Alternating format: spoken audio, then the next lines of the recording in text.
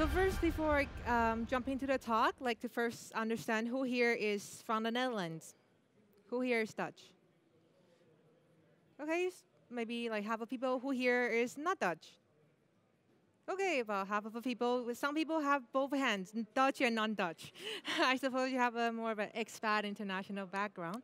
And who here designs for users um, based in Holland? If you design for Dutch users, actually majority. Who here design for international users, like you don't have international base? Okay, also plenty of you. It's really cool. My name is Jenny Shen. I'm a UX product designer, and um, I'm also a freelancer on the talent network called Toptal. In my spare time, I help co-organize a community called Ladies that UX. We also have the booth there. If you can find us at the very back with some relaxing beanbags, talk to us about diversity, um, uh, women in tech, and etc.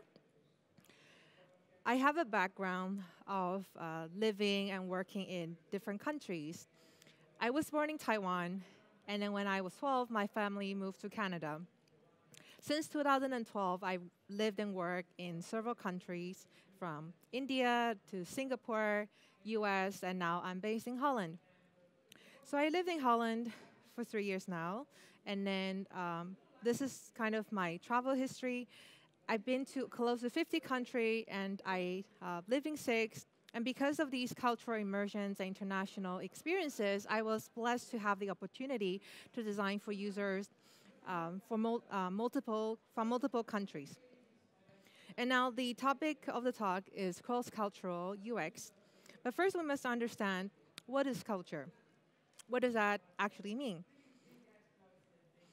Dutch social psychologist Geert Hofstede analyzed culture into six different dimensions, from power distance, individualism, masculinity, uncertainty avoidance, long-term orientation, and indulgence.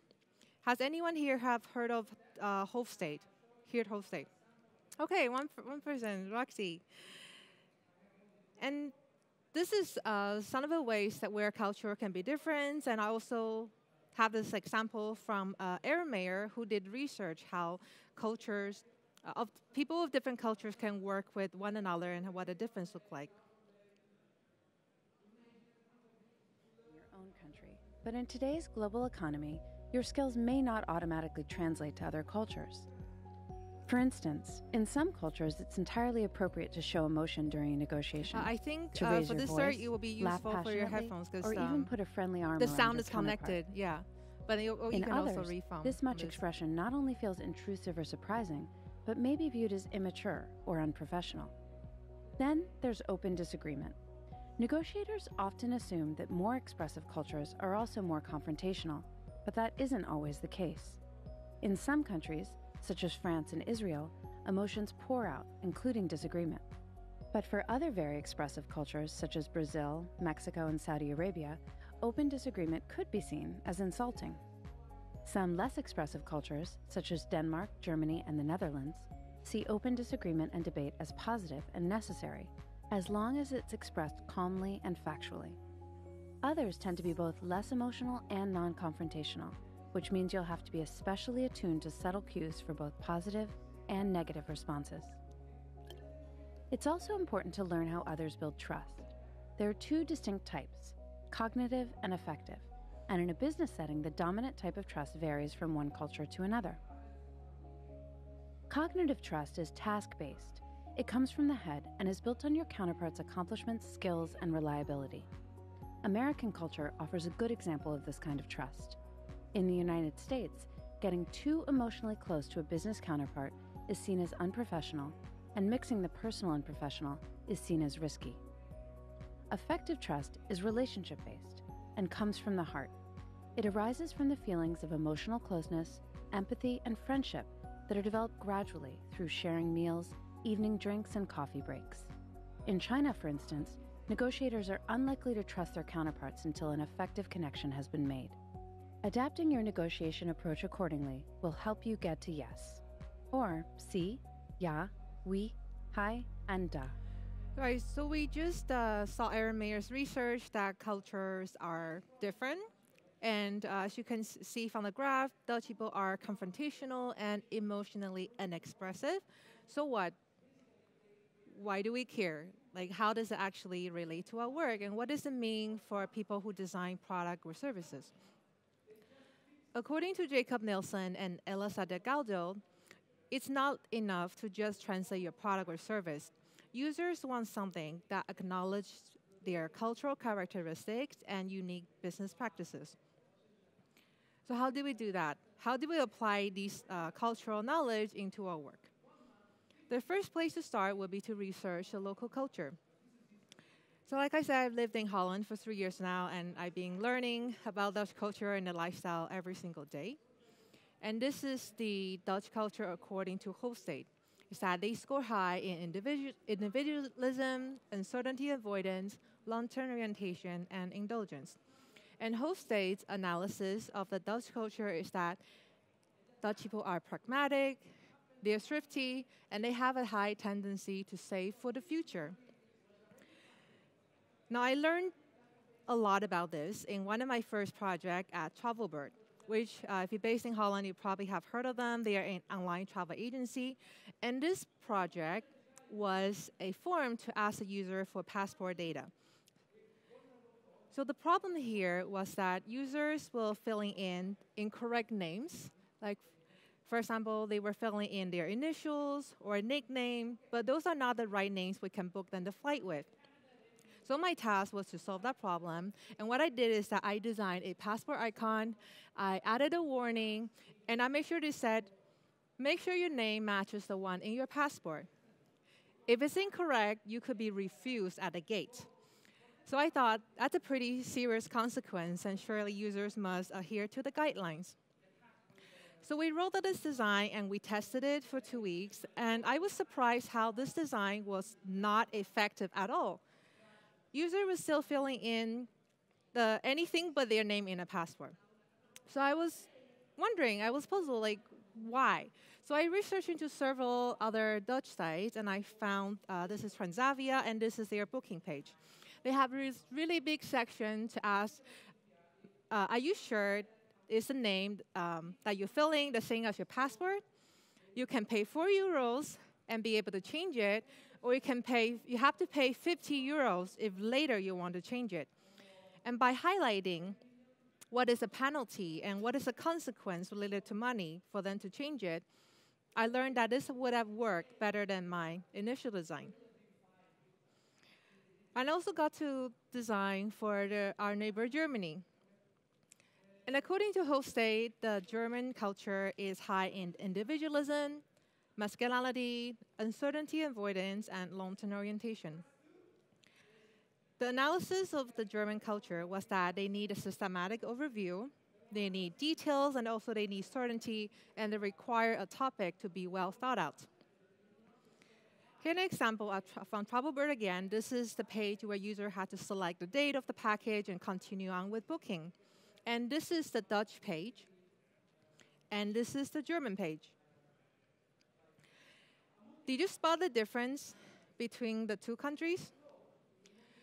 The difference was first, there are trust badges on the bottom, and then there's this big list of inclusive and exclusive that tells the user what is included in this travel package and what is not included. Does it include three nights at this hotel? Does it include airport transfer? Does it include luggage or breakfast and etc.?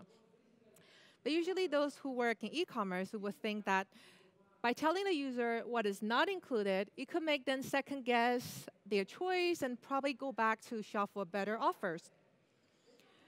But we actually tested this design with inclusive and exclusive, and we found that having this list with detailed information actually increased our conversion rate.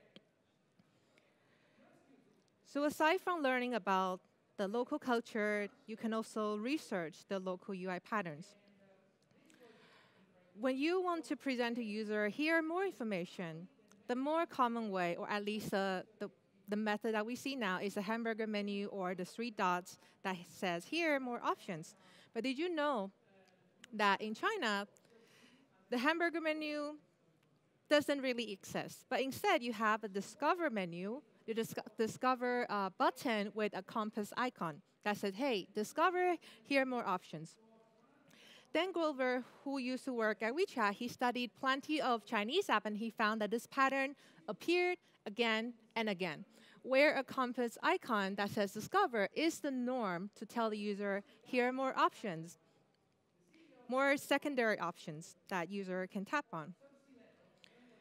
Another example is Mozilla Firefox. This is Mozilla Firefox uh, UX, USA homepage, where it's very clean, very minimal, with only one call to action button you can literally click on, download. So that's the American homepage. But let's look at the Chinese homepage. So as you can see, the Chinese homepage has a lot more information, has a lot more graphic, and it just look quite different from the USA version. And in case you're wondering, the green button is actually not to download, but is to actually post in the forum. Why is there such a big difference? Brent Pitoyo, a design strategist at Mozilla, he went to research why. And he researched the most popular sites in both China and the US. So the one that ranks the top are Google and Baidu, without question. They are search engines who are optimized for browsing, sorry, uh, optimized for searching. But then when you look at the other sites like Sina, Sohu, Yahoo, they have a different layout. They basically look like newspapers with a lot of information and links, and it just looks like really different from uh, a really minimal search engine. And his assumption for the difference is because of a language input. So according to him, uh, typing Chinese takes a long time and it's really hard to find a precise word. If search sucks, that's optimized for browsing. We're offering a lot of links and content where user can just browse and, and click instead of typing. So that's one of the example of East versus West and cultural difference. So if you learn about the culture, learn about the uh, interface patterns, when you want to roll out the design, make sure that you measure the data. Deskbooker is also a Netherlands-based client that reached out for me to uh, help them increase the conversion rate for Germany. So it wasn't that their service was not good. They were making a lot of sales through phone calls, but they were not making any sales through the website. So what I did is that I looked into data. Uh, for Deskbookers, I looked at their heat maps. I actually found that users first click on, before they go into searching uh, a city, they first click on links to learn more about the company. And I was trying to come up with some hypotheses and some learn about the emotional state of a user.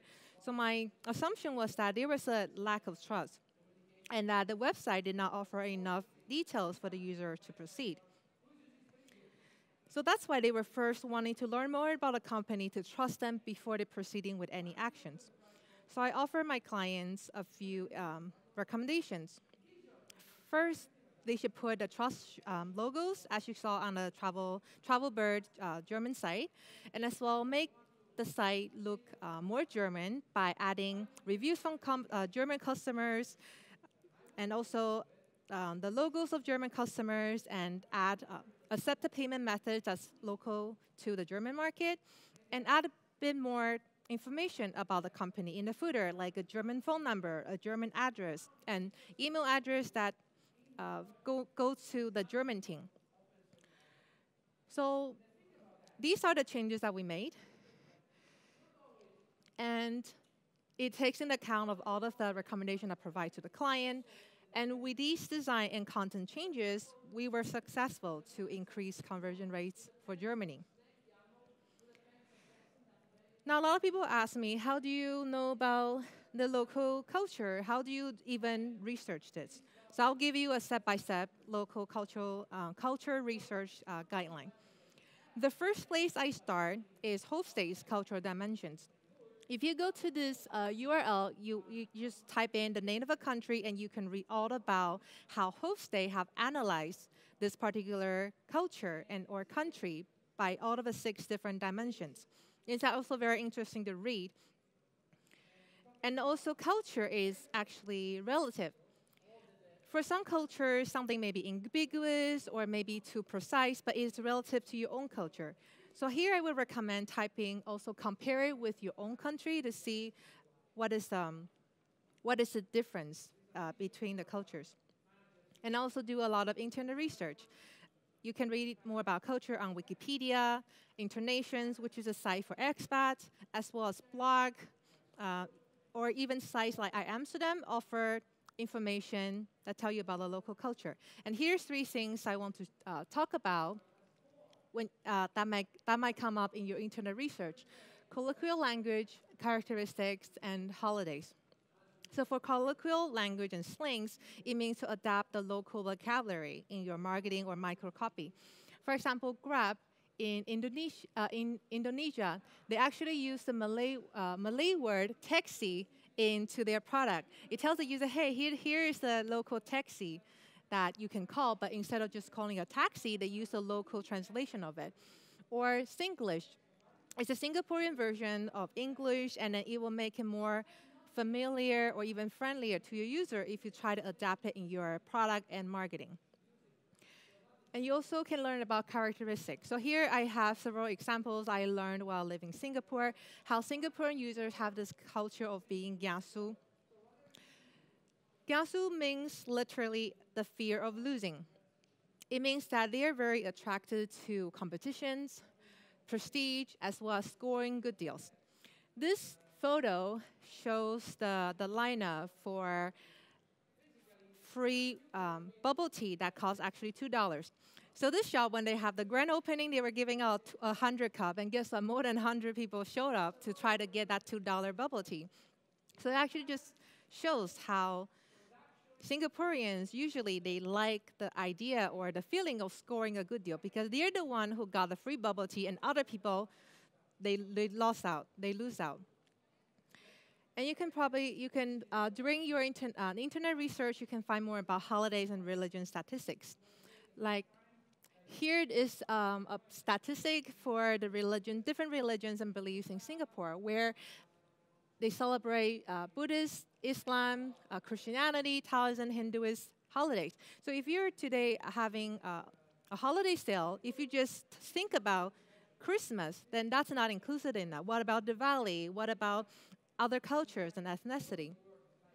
And Lunar New Year is something that's celebrated in a lot of Asian cultures. So when Uber had this uh, feature of ordering a lion dance, now users from Malaysia, Vietnam, or even in the US and Singapore, they would probably find it really interesting and appreciate how Uber has localized the product to adapt to uh, local audiences.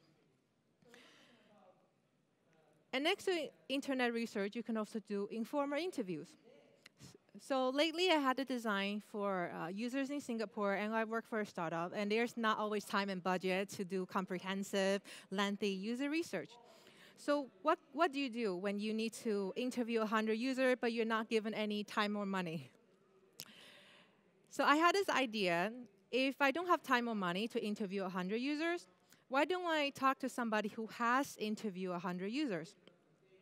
So I reached out to uh, senior UX managers and designers at various Singapore e-commerce platforms, and they were very happy to spend 10, 20 minutes with me to discuss an insight. And one of the insights I learned from a UX manager at a large e-commerce uh, fashion platform was that shopping is basically a hobby for a lot of Singaporeans. People buy something just because it's on sale, because there's not so much to do in a small country. So with that insight, it actually led me to explore having more sales callouts throughout the whole platform because according to according to this research, then we don't have to kind of stick to the normal holiday schedule. We can just have um, uh, uh, sales more periodically. And when you do localization, when you design for users of different cultures, there are certain localization elements to take into account. And how do you know about this localization uh, elements? First, you can do a competitor analysis to, like what I did uh, when I researched about uh, Transavia. When you start to learn what your competitors are doing, then you start to maybe see UX, UI patterns emerge. You can also find a lot of academic research, e-commerce reports, or white papers online. And one tip, or at least something I want to share about a tip for doing this uh, research is that you should research in a local language, not English, not your, not your own language that you speak. So one of my colleagues actually made this mistake when we were designing for users in Taiwan. So he being the head of Asia, um, he was typing in the e-commerce terms like e-commerce trends or mobile shopping um, in English, and he, he told me he couldn't find any data. Therefore, perhaps there's not so much research. Then what I did is that I entered those terms, but in Mandarin, Mandarin Chinese, into into Google, and I found so much data. I found so much e-commerce report that tell us about the mobile shopping behaviors of Taiwanese users. So lesson learned is that try to work with the local so that you can research in the local language instead of your own language or English. And here's a list of localization elements that you can be aware of. There are actually so many out there, but I just want to discuss uh, a few today. So I'll pick four things to explain. First thing, the official language. So it's obviously in Holland it's Dutch, in Germany it's German, but then you might also encounter countries where English is one of the official languages, like Singapore or India. But then pay attention to do they use English? Do they use US English? Or do they use UK English? Because you, it's a small detail, but then you don't definitely don't want to upset the local users. And as well, if there's a country that speaks Chinese, is it simplified Chinese or traditional Chinese? And finally, some countries have dialect, where there's in one country there's different languages being spoken, like Canada, there's French and, and English. You definitely want to be aware of the local languages.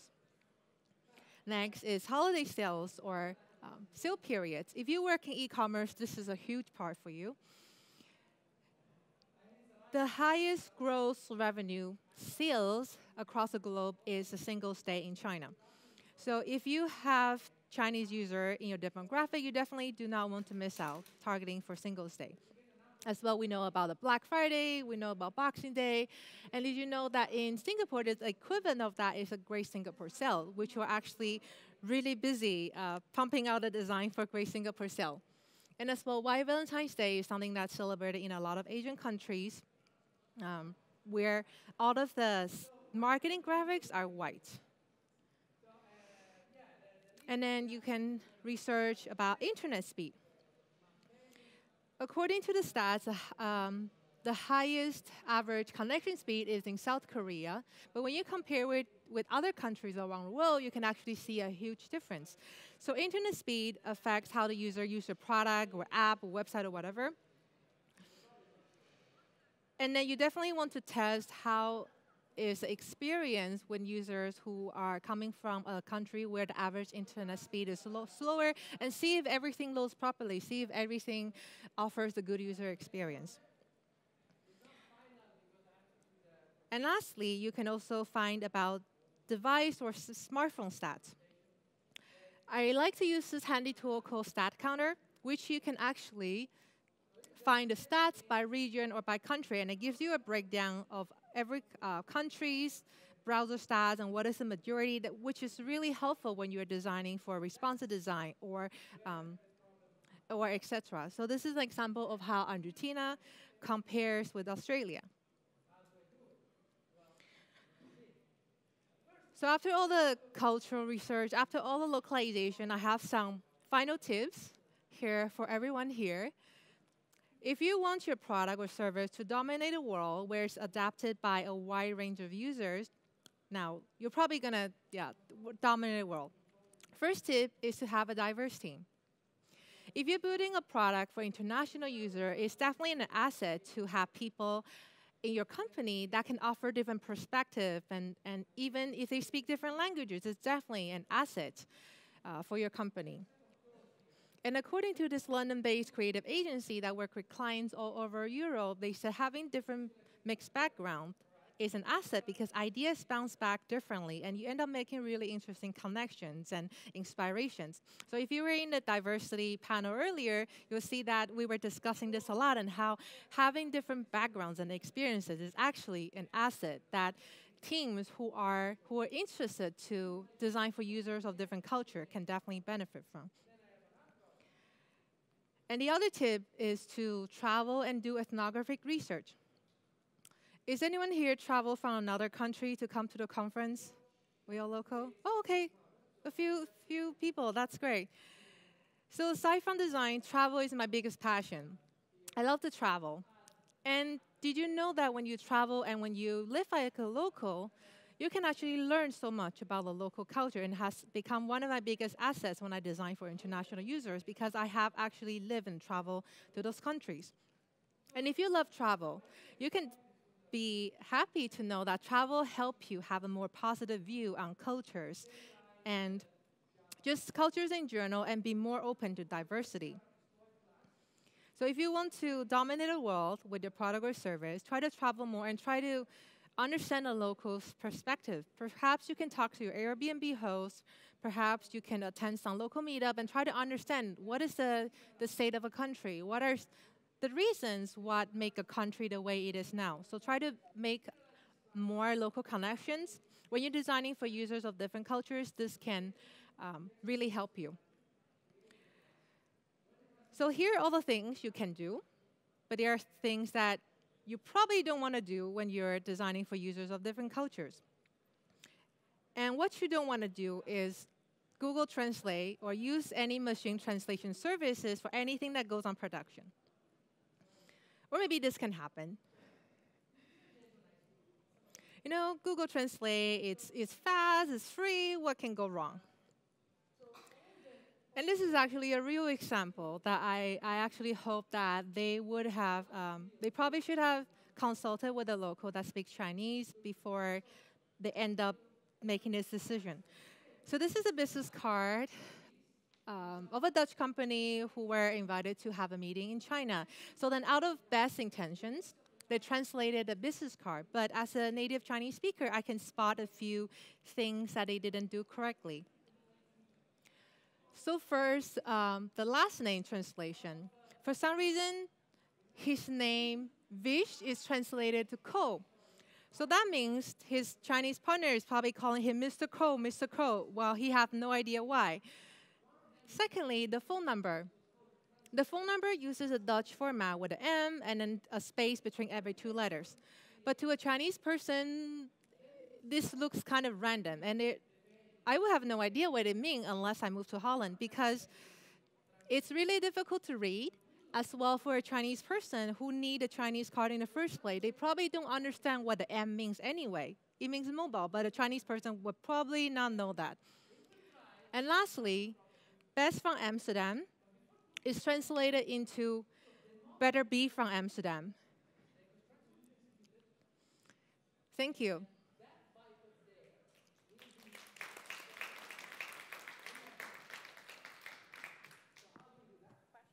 Questions? Sure. Should I, should I use this? Anyone? Yeah, any questions? Nadia has a question. So first of all, I think a great talk. I don't know if you can hear me.